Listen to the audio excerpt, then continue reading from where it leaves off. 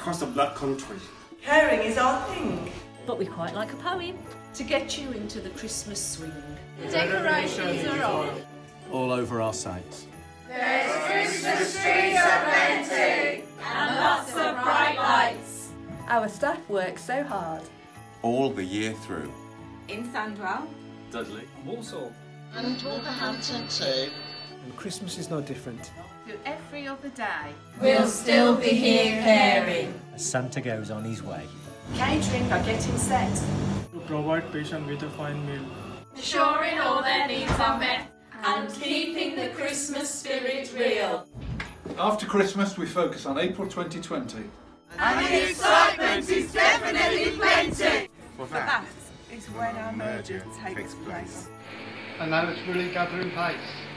We've got a new chair. And a CEO too. But at the centre of our merger is you. We, we are passionate about mental health.